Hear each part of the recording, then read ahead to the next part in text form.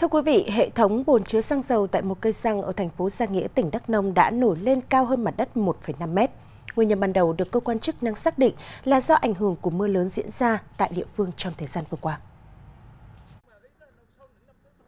Sau khi nhận được báo cáo của người dân, lãnh đạo tỉnh Đắk Nông và thành phố Gia Nghĩa đã kiểm tra hiện trường. Tại thời điểm kiểm tra, hệ thống bồn chứa xăng dầu đã nổi lên so với mặt đất khoảng 1,5 mét. Phía dưới và chung quanh bồn có nhiều nước ứ động, cao gần sát với mặt nền. Dạ, ngay lập tức thì chỉ đạo các lực lượng, đặc biệt là công an, dân quân và, và, thành đội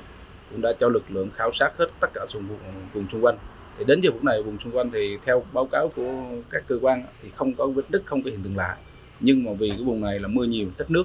cho nên đây cũng hiện tượng lạ là những năm trước thì không có mà năm nay là hình như mạch nước ngầm ở dưới đó à, quá đầy quá nhiều cho nên tạo cái việc là nhão đất ở dưới rồi à, có cái hiện tượng là à, dâng nước ngập nước nước không thoát được Hiện trạm xăng đã ngừng hoạt động, toàn bộ khu vực trạm bơm xăng và hệ thống bồn chứa đã bị khoanh vùng, cấm người ra vào. Thưa quý vị, cơn mưa lớn kéo dài xảy ra vào hai ngày vừa qua, ngày mùng 4 mùng 5 tháng 8, đã gây sạt lở đất đá ta luy âm tại km 41 800, đường tỉnh lộ 129 thuộc bản Nà Kế, xã Hồng Thu, huyện Sìn Hồ, tỉnh Lai Châu. Nguy cơ đứt đoạn tỉnh lộ này có thể làm tê liệt trục đường chính từ thành phố Lai Châu đi thị trấn Sìn Hồ.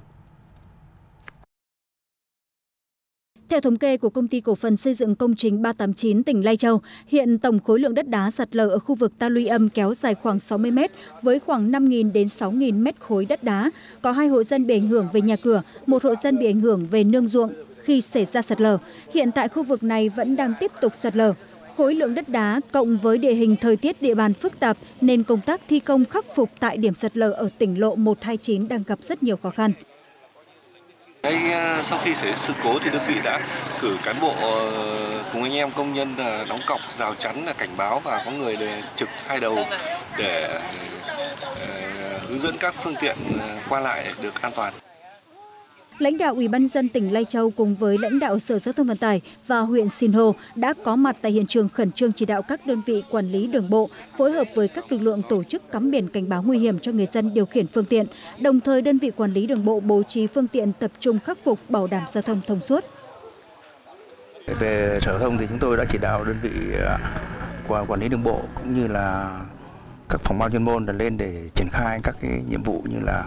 phân luồng rồi là rào chắn cảnh báo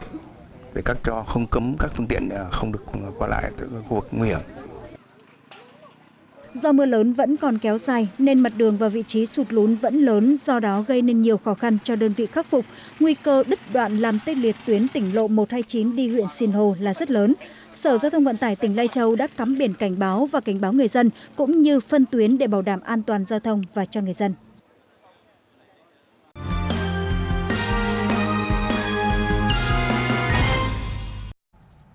Thưa quý vị, nhân dịp kỷ niệm 50 năm thiết lập quan hệ ngoại giao Việt Nam-Nhật Bản, đồng thời tiếp nối mối quan hệ giao lưu hợp tác giữa Hội An và Nhật Bản, ngày 5 tháng 8 tại thành phố Hội An, tỉnh Quảng Nam phối hợp cùng Tổng lãnh sự quán Nhật Bản tại Đà Nẵng và các đơn vị địa phương Nhật Bản tổ chức sự kiện giao lưu văn hóa Hội An Nhật Bản lần thứ 19.